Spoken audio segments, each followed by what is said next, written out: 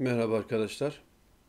YouTube'da Question Answer adı ile adı altında yeni bir liste oluşturmak istiyorum.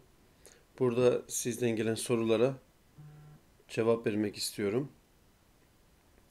Biraz karışık olacak.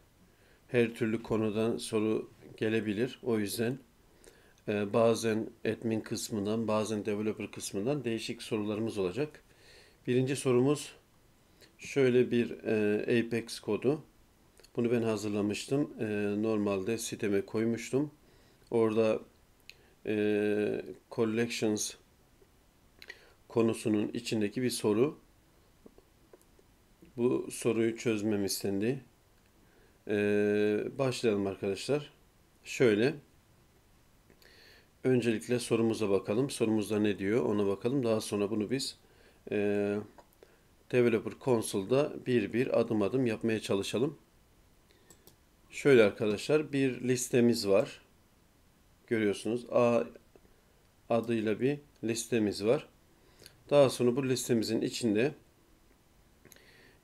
daha sonra değil de listemiz gördüğünüz gibi yeni bir liste ama içi boş değil. Listemizin içinde 4 tane elementimiz var. A, B, C, D şeklinde. Biliyorsunuz eğer listeyi boş bırakmak istiyorsanız şu şekilde kapatmanız gerekiyor içine bir şey yazmadan. Ama eğer içine element yazıyorsanız bu parantezleri kullanmadan e, süslü parantezler içine hangi data type varsa listeniz içine görüyorsunuz string var. O e, data type ile alakalı elementlerle doldurabiliyorsunuz. Bizim böyle bir listemiz var arkadaşlar. İçinde 4 tane elementimiz var. A, B, C hepsi birbirinden farklı. Daha sonra iki tane e, collection liste demiyorum. Çünkü bir tanesi liste, diğeri set şeklinde iki tane collection e, collection'ımız var. Birincisi liste, ikincisi set. E, bunlar birbirinden farklı biliyorsunuz arkadaşlar. Liste e, tekrar eden elementleri e, kendine ekleyebiliyor. Yani e, birden fazla aynı elemente sahip olabiliyor. Şöyle diyeyim. A varsa tekrar A olabiliyor. Yani A, A, B, C, C, D, E, E, E bu şekilde bir liste oluşabiliyorsunuz. Aynı elementler, aynı elemanlar tekrar edebiliyor. Ama sette siz A, B, C, D varken yine A koymaya çalışırsanız A'yı eklemez yine A, B, C'de sonucunu verir. İstediğiniz kadar A, B, C'den A, B, C, D'den herhangi birini tekrar ekleyin.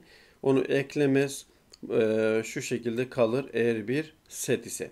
Bunu bilelim arkadaşlar. Yani listelerde tekrarat varken setlerde tekrarat yok. Repetition yok diyelim arkadaşlar. O yüzden bunun bu ikisinin arasındaki farkı iyi bilmek lazım. Ee, bunları bir önceki videolarımda anlatmıştım. O videoları izleyebilirsiniz. Şimdi biz ne yapıyoruz? Bu soruda ne yapıyor? Soruda A, B, C, D'den bağımsız bir for loop'umuz var. İçinde A, B, C, D'den bağımsız bir variable'ımız var. Değişkenimiz var. I. I biliyorsunuz burada i'ın görevi for loop'umuz kaç kere e, kaç e, döngüden oluşacak onu belirliyor. Yani 1 iken birinci döngümüz. Şöyle düşünün arkadaşlar. Ay 1 iken bu döngü çalışıyor. Sonra 2 iken tekrar çalışıyor. 3 iken tekrar çalışıyor.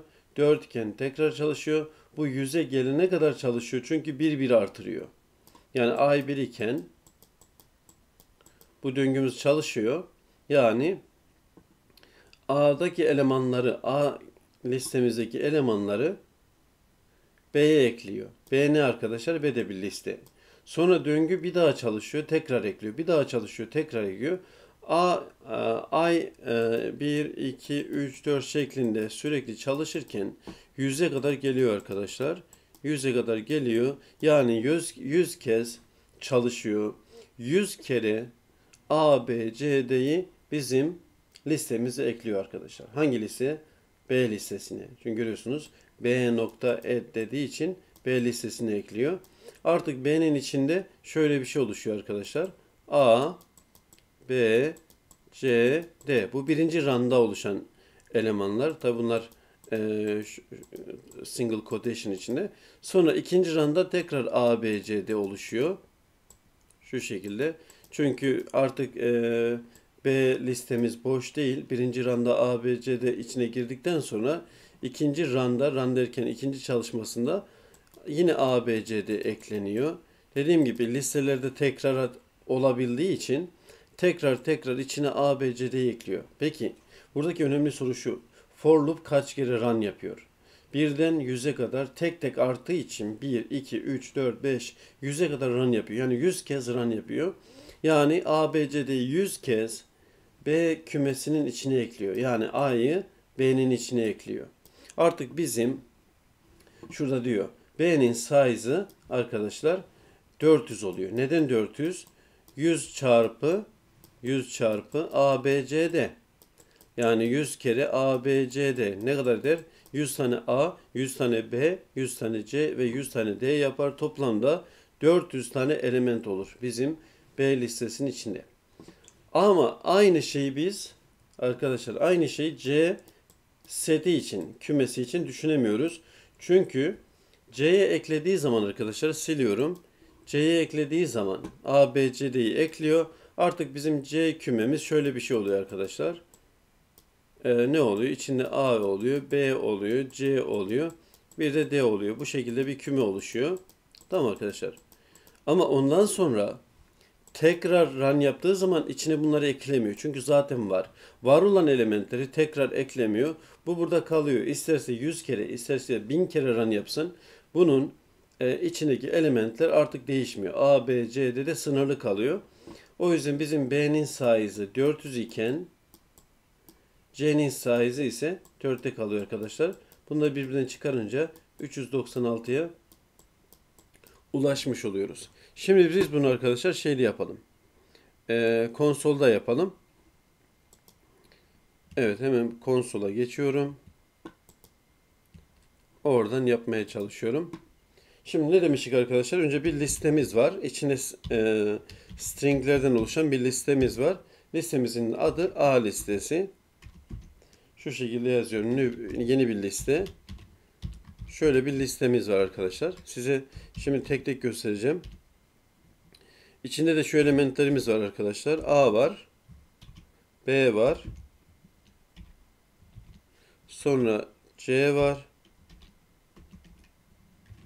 Ve sonuncu element olarak D var. Bunu da şöyle yazalım.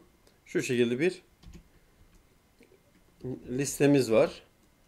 İkinci listemiz arkadaşlar yine string listesi kopyalayıp oluşturmaya çalışıyorum. Bu listenin adı da B listesi ama bunun içinde hiçbir şey yok. Bunun içi boş. Bu şekilde yazıp yazıp bırakıyoruz. Bir de kümemiz var arkadaşlar. Bunu tekrar kopyalıyorum bu şekilde. İsmini C diye değiştiriyorum. Bir de list, e, bunu set'e çeviriyorum. Set setimiz var. Bunun adı C. Daha sonra for loop'umuzu oluşturuyoruz. For loop diyoruz ki integer i 1 iken başlasın. i 100 olana kadar devam etsin ve tek tek artsın. Yani 1 iken, 2 iken, 3 iken, 4 iken, 5 iken bu şekilde artıyor arkadaşlar. Şimdi ben açıyorum parantezimi for loop'um. Peki for loop'un içinde neyi çalıştıracağız? 1.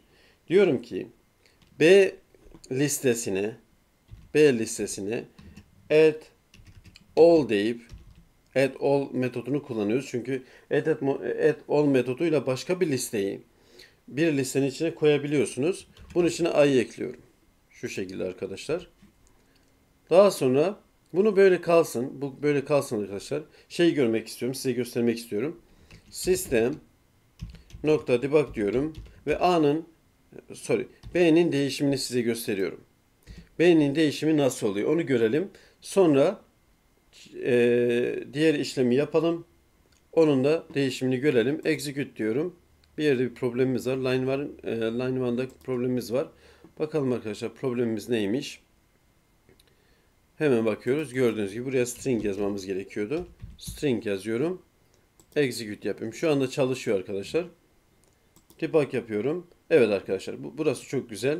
Hepsini size göstermeyebilir. Size göstermeyebilir. Hatta şöyle yapalım.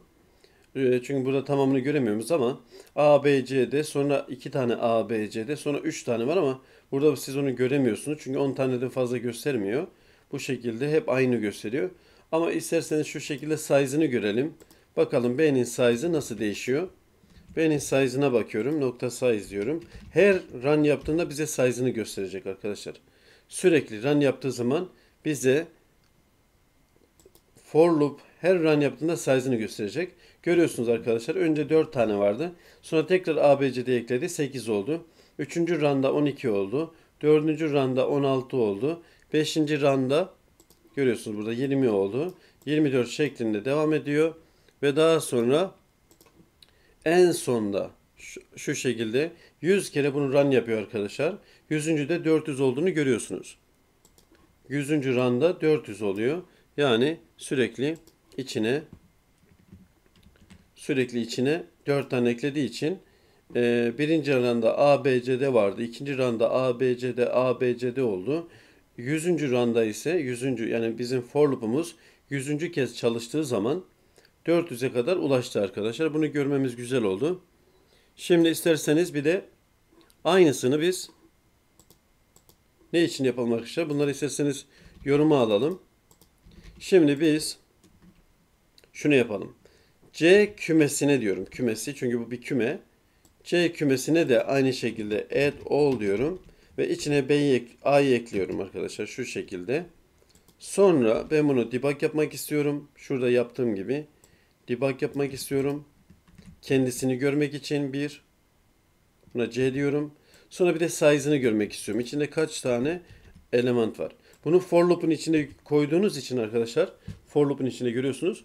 Her adımda size C setini gösterecek bir de eleman sayısını gösterecek. Run yapalım. Evet bakıyoruz arkadaşlar hep A, B, C'de kalmış. Hiç değişmemiş. Hep 4 kalmış. Neden? Çünkü set olduğu için aynı elementleri tekrar tekrar kendi içine eklemiyor. O yüzden görüyoruz. En sona kadar gidiyorum ve A, B, C, D olarak kaldığını görüyorsunuz arkadaşlar. Şimdi bunu da yoruma alalım arkadaşlar. Buna da ihtiyacım yok şu anda. Bunu da yoruma alıyorum. Bizim amacımız neydi? Amacımız şu. For loop'un dışına gelerek çünkü ben for loop'un içinde yaparsam 100 kere bunu e, debug yapmış olacak. O yüzden ben for loop'un dışına çıkıyorum. System.debug diyorum.